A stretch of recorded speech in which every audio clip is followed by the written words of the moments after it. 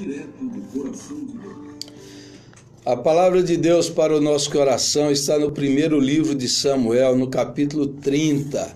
É uma história de uma batalha que Davi enfrentou na sua vida. Ele ainda não era rei, ele experimentou aqui um ataque devastador dos seus inimigos, os amalequitas. Essas batalhas do Antigo Testamento, elas nos servem como analogia hoje para a Nova Aliança, para o Novo Testamento, para o nosso tempo. Essas batalhas aqui, que eram batalhas históricas, reais, sangrentas do Antigo Testamento, elas nos servem hoje como analogia e como uma leitura tipológica para apontar as lutas, as batalhas, as adversidades que nós enfrentamos hoje, de todos os tipos, de todas as ordens. Então, o nosso tema hoje é: não desista daquilo que Deus te deu, não desista daquilo que o Senhor entregou para você. E o texto diz assim: 1 Samuel capítulo 30. Sucedeu, pois, que chegando Davi e os seus homens ao terceiro dia a Ziclag, já os amalequitas tinham dado com ímpeto contra o sul, e Ziclag e a esta ferido e queimado. Tinham levado cativas as mulheres que lá se achavam, porém a ninguém mataram, nem pequenos nem grandes, tão somente os levaram consigo e foram seu caminho. Davi e os seus homens vieram à cidade, e ela queimada, e suas mulheres, seus filhos e suas filhas eram levados cativos. Então Davi e o povo que se achava com ele ergueram a voz e choraram, até não terem mais forças para chorar. Também as duas mulheres de Davi foram levadas cativas, Ainoã, a Geslita, e Abigail, a viúva de Nabal, o Carmelita. Davi muito se angustiou, pois o povo falava de apedrejá-lo, porque todos estavam em amargura, cada um por causa de seus filhos e de suas filhas. Porém, Davi se reanimou no Senhor seu Deus. Disse Davi a Abiatar, o sacerdote, filho de Aimeleque: Traze-me aqui a estola sacerdotal. E Abiatar a trouxe a Davi. Então consultou Davi ao Senhor, dizendo: Perseguirei eu o bando? Respondeu-lhe o Senhor: Persegue-o, porque de fato alcançarás e tudo libertarás. Davi tinha saído com seus homens no exército e quando ele voltou para sua casa, ele voltou para sua cidade, a cidade que eles estavam morando, a cidade de Ziclag. Eis que ele se depara com uma imagem devastadora. Os inimigos vieram e levaram e sequestraram todas, todas as esposas, os filhos, os bens, destruíram a cidade de uma hora para outra, enquanto Davi estava enfrentando outros inimigos, quando ele chegou ali, os amalequitas vieram. Os amalequitas é um tipo, são um tipo do inimigo, o inimigo das nossas almas, é um tipo das adversidades, da maldade, da violência, é um tipo é, é, é, é das forças do mal que atuam nesse mundo para destruir as pessoas. Então observe, eles atacaram a esposa, o casamento, eles levaram os filhos, eles levaram os bens, e eles agora, quando eles, os homens de Davi veem aquela devastação, se deparam com aquela tristeza, eles começam a chorar, eles choram até perder a força. Eles ficam exaustos de chorar e os homens de Davi ficam revoltados. E quando às vezes você está chateado, está triste, a raiva, a ira domina e os homens querem achar um culpado. E eles olham para Davi, que é o líder deles, e falam: a culpa é de Davi. E eles agora querem apedrejar Davi. Veja, o Davi perdeu a esposa, os filhos, e agora os seus bens, e agora os seus amigos estão falando em apedrejá-lo, em matá-lo. De uma hora para outra, aquele homem perdeu tudo. Uma tragédia que nos lembra Jó, quando Jó foi provado e Deus permitiu que Satanás viesse com fúria contra ele, atacou exatamente, atacou a família de Jó, atacou os filhos de Jó, atacou os bens de Jó e colocou os amigos de Jó contra ele. É isso que o inimigo faz, ele ataca a família, ele ataca o casamento, ele ataca os filhos, ele ataca os bens e ele ataca os amigos. De uma hora para outra, Davi enfrentou esse ataque. Quem sabe você está enfrentando ataques espirituais, familiares. Você não percebe que você está debaixo de uma artilharia pesada das trevas. Você talvez nem acredite nisso. Talvez você seja cético. Talvez você seja incrédulo em relação a essas questões de, de maldade, de poderes malignos espirituais. Talvez você não acredite nisso, mas está escrito na palavra, é uma realidade que a nossa luta não é contra carne ou sangue, mas contra os principados e potestades, contra os dominadores deste mundo tenebroso, contra as forças espirituais do mal nas regiões celestiais em Cristo Jesus. Isso existe, ele age, ele atua para destruir. Em João capítulo 10, versículo 10, Jesus diz que o ladrão vem somente para roubar, matar e destruir. E ele quer destruir o casamento, ele quer acabar com as famílias, ele quer gerar separações, divórcios, adultério, ele quer destruir o núcleo da sociedade que é a família. E, a, e muitos, muitos estão desistindo muito rápido dos seus casamentos, muitos estão abandonando ah, os votos conjugais, a aliança conjugal, aquilo que eles juraram solenemente na presença de Deus, diante da primeira adversidade, diante do primeiro problema, diante da primeira incompatibilidade, os casais já se separam. É uma verdadeira epidemia como as pessoas estão rompendo laços, vínculos. Alguém já disse que hoje os namoros estão cada vez mais longos. Pessoas namoram 4, 5, 8 anos e casam, e o casamento não dura um ano. Impressionante. Eu, o sociólogo já dizia, o Zygmunt Bauman, é a nossa sociedade líquida, onde os laços estão cada vez mais líquidos, onde não existe mais solidez nos relacionamentos relacionamentos e começa a partir do casamento. Infelizmente, a família está se fragmentando e os laços estão se tornando cada vez mais frágeis. Há até aqueles que abandonam os filhos, pais que deixam os filhos, que gera o abandono familiar, alienação parental é a palavra jurídica, técnica para isso. Né? Estão rompendo e deixando filhos, filhos sem pais, filhos abandonados pelos pais, às vezes até pelas mães. E o inimigo vem para destruir, destruir os filhos, essa nova geração que às vezes está tão fragilizada, tão isolada, tão solitária, apesar de um mundo tão conectado, de estarem envolvidos e conhecerem tanta tecnologia, mas nunca nós estamos vendo uma geração tão isolada, tão tímida, tão solitária. Ah, o inimigo quer destruir os filhos ele vem também para destruir os bens. Ah, nós vivemos num sistema econômico maligno, opressor, e um sistema que gera dívidas, e as dívidas são verdadeiras prisões. Lá em Provérbios diz que aquele que pega emprestado se torna escravo daquele que emprestou. E nosso sistema funciona na base de dívidas. Se você pesquisar, você vai ver que 62 milhões de CPFs dos brasileiros estão negativados.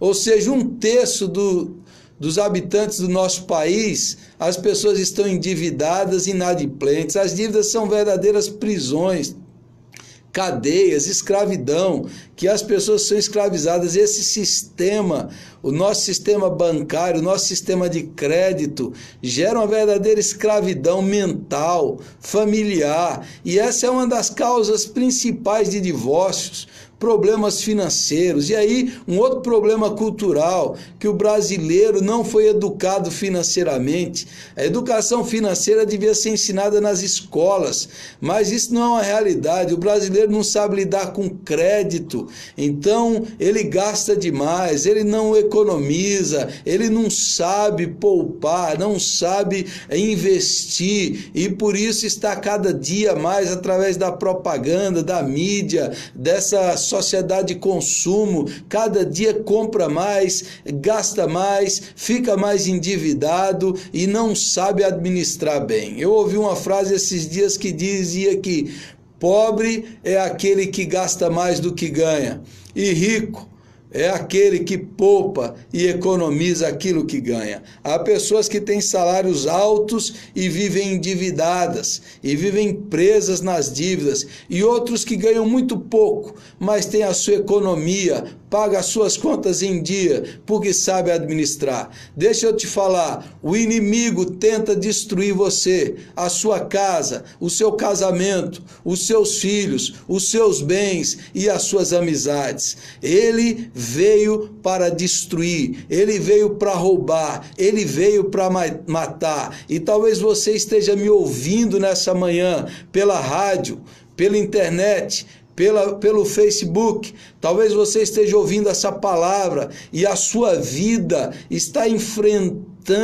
um turbilhão de dificuldades e coisas de todo tipo e de toda ordem. O apóstolo Paulo fala do dia mal. Existe um dia mal quando tudo começa a dar errado, quando coisas estranhas começam a acontecer, quando brigas começam a surgir de uma hora para outra, quando a paz vai embora, quando o coração fica perturbado, quando o sono foge, quando coisas esquisitas começam a aparecer. Quem sabe você esteja passando pelo dia mal, esteja enfrentando esse ataque dos amalequitas, esteja enfrentando essa hora de oposição, esse momento de, de opressão espiritual na sua família. Quem sabe você está experimentando alimentando isso no seu coração, no seu casamento, no relacionamento com seus filhos, nas suas finanças e você não percebeu que a origem disso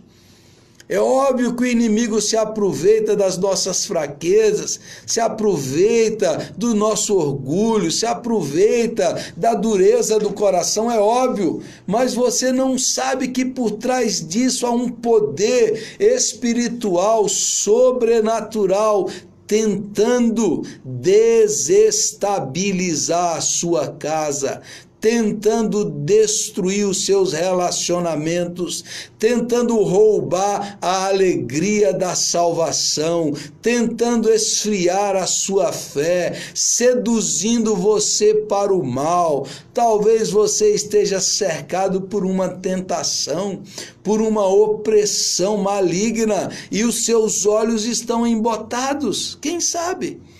Agora observe o que Davi fez. Ele tinha perdido tudo. E no versículo 6 do capítulo 30 diz que Davi muito se angustiou, pois o povo falava de apedrejá-lo, porque todos estavam em amargura, cada um por causa de seus filhos e filhas. Olha, levaram a esposa, levou os filhos, levou os bens e os amigos estão contra ele. Davi está angustiado, ele já chorou todas as lágrimas que tinha para chorar, secaram as lágrimas dele. Que tribulação, que angústia, que perturbação. Mas veja o final do versículo 6.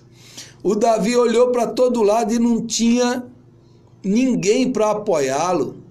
Não tinha ninguém para ajudá-lo, não tinha ninguém para lhe dar uma palavra de ânimo, de encorajamento. Não tinha ninguém. Você já olhou para os lados assim, não encontrou ninguém que poderia te apoiar. olhou para os seus amigos, olhou para os seus parentes e não encontrou ajuda, não encontrou socorro, não encontrou força, não encontrou alento. Agora diz o texto que Davi se reanimou no Senhor seu Deus. Davi ergueu os olhos para o céu.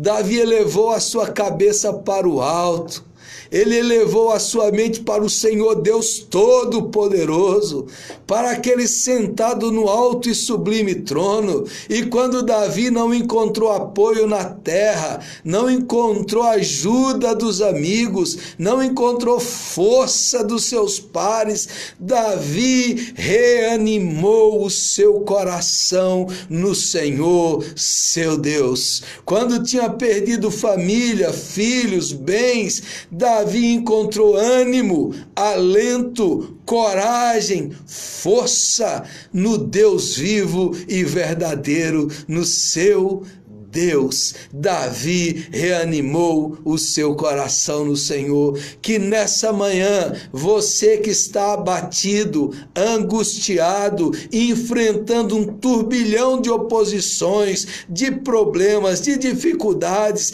problemas de saúde, problemas no casamento, problemas de relacionamento com os filhos, problemas financeiros. Você que levantou hoje desanimado, abatido, deprimido, que neste dia, que nessa hora, você erga os seus olhos para o céu e você reanime o seu coração no Senhor seu Deus, porque Ele não te desampara, Ele não te abandona ele não te deixa, ele não vira as costas para você, ele não sonega a presença dele, que você seja revigorado, reanimado, encorajado, revitalizado e reavivado pelo poder do Senhor nosso Deus. Que a graça de Jesus Cristo te revigore e veja o que Davi diz. Davi clamou ao Senhor,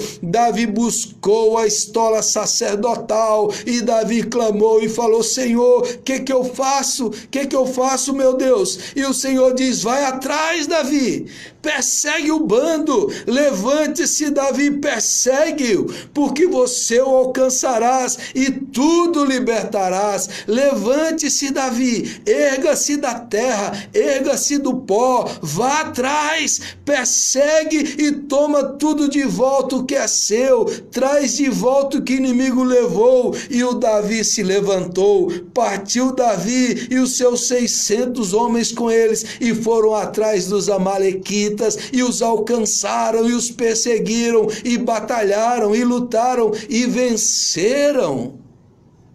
E eles venceram, e eles trouxeram tudo de volta, todos os seus filhos, as esposas, os bens, eles trouxeram os despojos de guerra, e Davi se levantou no nome do Senhor e foi atrás e trouxe de volta. E o Senhor diz para você: não desista do seu casamento, não desista dos seus filhos. Não desista da sua carreira, do trabalho, da profissão, daquilo que Deus te deu. Não desista dos seus amigos, não desista do seu ministério, não desista dos dons e talentos que o Senhor lhe deu. Não desista, foi Deus que te deu, Davi.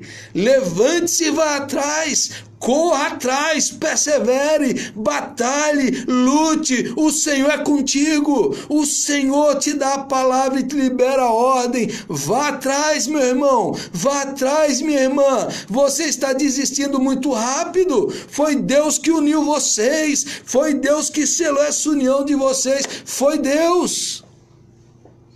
Deixa eu lhes contar uma história de uma irmã uma serva de Deus que conheceu um homem de Deus e ambos casaram. E ali diante do Senhor fizeram os votos solenes e estabeleceram a aliança do casamento. Casamento é uma aliança, não é um contrato, meu irmão. Casamento é uma aliança unilateral. Aquilo que Deus uniu não separe o homem. Mas deixa eu lhe falar: essa mulher tinha um casamento feliz Mas depois de um tempo, seu marido mudou, de uma hora para outra, o homem começou a mudar, ficou frio, indiferente, tratando-a mal. E de repente ele disse para ela: Eu quero a separação. Saiu de casa, foi embora, falou para ela: Eu conheci outra mulher, estou apaixonado por ela não quero mais saber de você, não quero saber mais de Deus. E o homem foi embora. Essa mulher ficou triste, chorando, desesperada, com os filhos, sem saber o que fazer. Algumas pessoas falaram para ela: separa, separa. Vai lá, entra com o divórcio, seu casamento acabou, você tem direito. Jesus permitiu a separação em caso de traição, pode separar. E aquela mulher sofrendo, algo dentro dela dizia: lute, lute. E ela estava uma noite orando. E ela já tinha orado, já tinha se aconselhado, mas naquela noite o Espírito Santo falou com ela: essa luta não é carnal, essa luta não é contra homem, não é contra mulher, essa luta é espiritual. Essa ação é uma ação maligna. Ore contra isso. O Espírito Santo falou com aquela irmã. E ela levantou aquela noite e ficou em pé e começou a orar. E a oração dela foi oração de autoridade contra toda obra do mal. E ela começou a repreender a ação maligna que estava agindo no marido dela, no coração do marido dela, e ela repreendeu, repreendeu na autoridade do nome de Jesus toda obra maligna, e ela adormeceu orando. E quando ela acordou no outro dia, tinha uma carta embaixo da porta, era uma carta do seu marido. E naquela carta ele dizia: Olha, ontem à noite eu senti que as escamas caíram dos meus olhos. Eu estava enfeitiçado, mas o feitiço foi quebrado. Alguma coisa aconteceu, os meus olhos se abriram e eu vi a loucura que eu estava fazendo. Eu estava destruindo o meu casamento, o amor da minha vida, a família que Deus me deu. Eu estou arrependido, eu estou humilhado, eu estou quebrantado. Por favor, me perdoe me aceite de volta. E aquela mulher recebeu aquela carta e perdoou seu marido e o recebeu de volta. E eles se reconciliaram e o casamento deles foi restaurado. E eles restauraram o casamento, restauraram a aliança, e aquele casal começou um ministério maravilhoso um ministério para abençoar casais hoje de vários lugares. Essa é uma história real de uma mulher que não desistiu do seu casamento, que ela não aceitou o decreto de divórcio e de falência. Ela lutou contra o mal, ela orou e repreendeu a ação maligna. Quem sabe você está enfrentando um decreto de morte para os seus filhos para os seus bens. Quem sabe você está se rendendo rápido demais, desistindo cedo demais. O Davi reanimou as suas forças, revigorou e ouviu a voz de Deus que diz: persegue, lute, vá lá, batalhe. Foi Deus que te deu. Não desista. Não desista da sua família, não desista dos seus filhos, não desista dos seus pais, não desista dos seus pais, não desista dos seus amigos, não desista daquilo que Deus lhe deu, foi Deus que te deu. Levante-se em nome de Jesus e lute, e em frente, e vá em frente. O fundador da Marinha Americana, chamada John Paul Jones, é um herói americano. E quando ele enfrentava uma batalha no meio dos mares e foi invadido por piratas. Os piratas cercaram ele, feriu a sua seu braço, cortaram o seu braço, estava tomando o seu navio e cercado eles falaram assim: "Você está pronto para se render, John Paul Jones? Você é um herói lendário." Ele levantou a espada dele, e eu gosto muito dessa história. Ele levantou a espada dele e diz assim: "Mas eu ainda nem comecei a lutar." E esse herói americano levantou a lutar e venceu os inimigos. Eu gosto dessa frase, eu queria terminar com essa frase. Quando o inimigo cerca você, quando as dificuldades vêm, as adversidades vêm, e ele diz para você: você está pronto para se render, levante a espada da palavra de Deus, levante a sua fé, a espada do Espírito, e diz para todo mal na sua casa, na sua família: eu ainda nem comecei a lutar em nome de Jesus. A vitória é minha, a vitória é nossa. Creia na palavra, tome posse, enfrente tudo isso e lute, e lute e obtenha a vitória vitória. Senhor nosso Deus, que essa palavra traga ânimo, coragem, fé, esperança para todos que estão ouvindo nesta manhã. Não deixe ninguém desistir daquilo que o Senhor preparou, daquilo que o Senhor deu, especialmente da família, especialmente do casamento. Que o Senhor, que o Senhor nosso Deus esteja agora reanimando, revigorando, levantando, trazendo força, coragem, disposição e fé para que cada um dos seus filhos e filhas lutem, perseverem, batalhem e vença o inimigo e traga tudo de volta e tenha vitória sobre o mal. Que o Senhor dê a restauração na família, restauração no casamento, restauração nas finanças, restauração emocional, restauração espiritual, a restauração que só Jesus pode dar. Que o Senhor faça isso nessa manhã. Em teu nome eu oro e abençoo os teus filhos para a tua glória. Amém e amém, Jesus.